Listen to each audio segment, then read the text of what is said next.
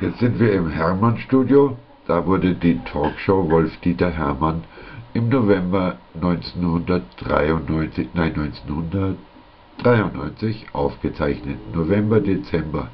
Insgesamt 43 Folgen.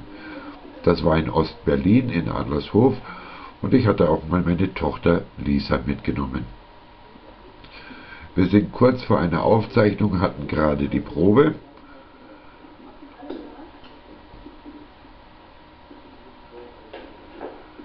Die Mannschaft konzentriert sich nochmal richtig, weil es muss ja alles funktionieren.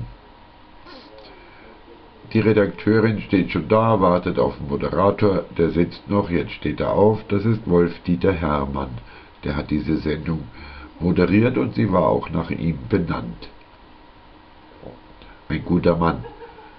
Immer noch ein guter Kollege, obwohl es schon so lange her ist. Meine kleine Tochter Lisa war auch mit dabei. Sie da war damals knapp zwei Jahre alt. Es war natürlich eine spannende Zeit. Es war die erste Talkshow in Deutschland, die ich produziert habe, mit der AVE zusammen für Sat 1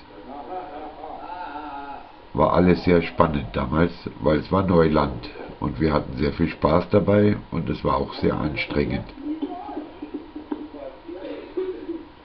Ich nehme meine Tochter auf den Arm.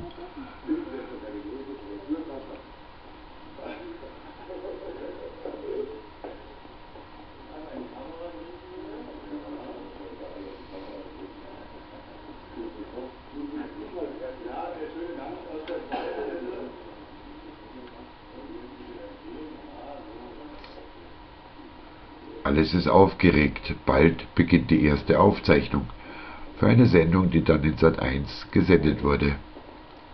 Und die lief im Januar 1994 zum ersten Mal.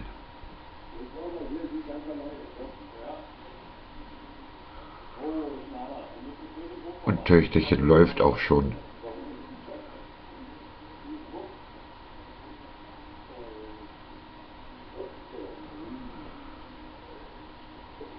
war eine tolle und spannende Zeit damals.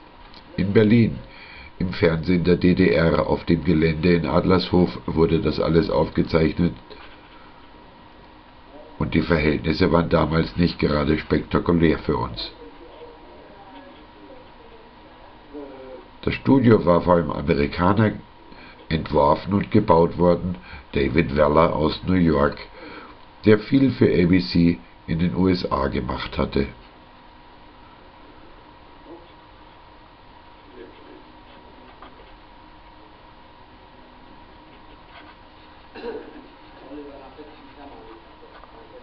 Es war eine tolle Zeit. Pioniergeist ohne Ende.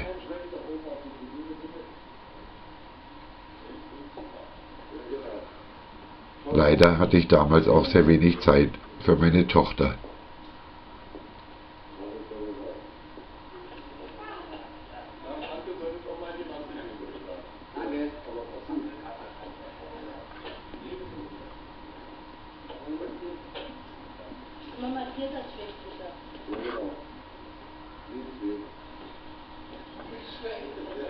Und sie lacht auch ein bisschen in die Kamera.